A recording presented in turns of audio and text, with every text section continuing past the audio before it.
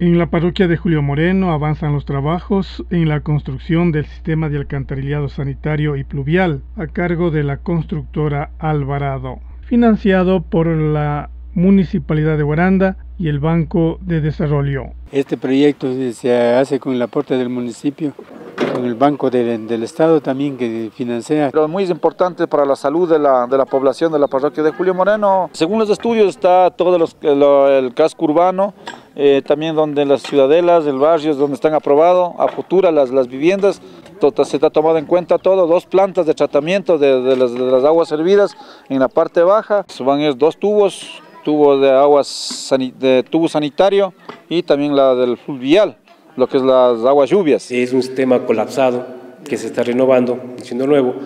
Pluvial no tenía, no había sumideros, no había, había muy pocos sumideros, casi no había rejillas transversales. No estamos solamente para ver si van haciendo mal o van haciendo bien, sino a lo mejor si es que hay que arrimar el hombro en algún momento ayudar, también estamos prestos y dispuestos para colaborar. A veces hemos tenido que trabajar hasta pasadas las horas y 200 familias se benefician de este sistema de alcantarillado sanitario y pluvial en Julio Moreno. Ya cerca de 200 familias porque dentro del proyecto abarca en lo que es el barrio Nuestra Señora del Rosario también, que va por, por la línea de, del asfalto.